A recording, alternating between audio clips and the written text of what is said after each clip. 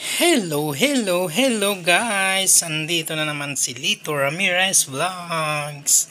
Bumili po ako ng talong na dalawa at saka alokbati. Ayan o, oh, haba o. Oh. Pwede pang itanim mo. Oh. Tapos pechay. Tapos patatas. Tapos sili na mahanghang. Siyempre, pampagana sa pagkain. Ito guys, talong. Ito, torta ko to. Ito naman, uh, alokbati. Bahala na dyan kung saan ko i-sasahog. Ito naman, pechay. Uh, bukas, magtitinula ako. Ito. Pagka naman nag-adobo ako, ito, patatas ilalagay ko. Tapos lagyan ko ng siling manghang. Ayun, guys. Kumakain ba kayo neto? Itong talong na mahabat malaki. Iyon. Siguro hindi. Puro karne siguro kayo, no? Huwag puro karne.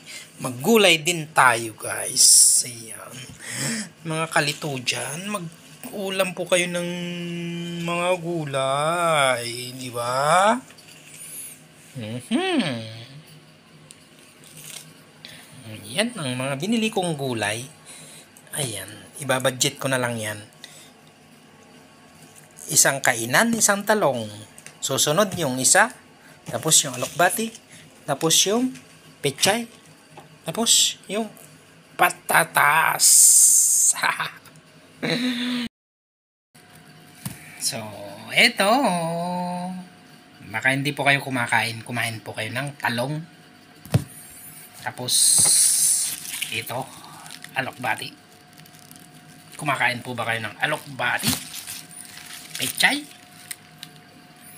in fairness baka kumakain kayo ng pechay tapos sili. Yan guys. Maraming maraming salamat. Ito ipa pinakita ko lang po yung gagawin kong ulam syempre, di ba? Lulutuin ko yan. Ilang araw yan. Nakabudget po yan. Ganun ang mahirap. Nakabudget po lahat. Unti-unti isang kainan. Di ba? Yan, magulay. Hmm? Okay guys, maraming maraming salamat po sa inyong lahat at mega love shoutout po sa lahat ng mga viewers po natin dyan. Syempre, mga supporters po natin dyan. So, maraming salamat sa pag-support ng YouTube channel ni Lito Ramirez Vlogs. Thank you, thank you so much. And, advance Merry Christmas and Happy New Year. Thank you so much. Bye-bye.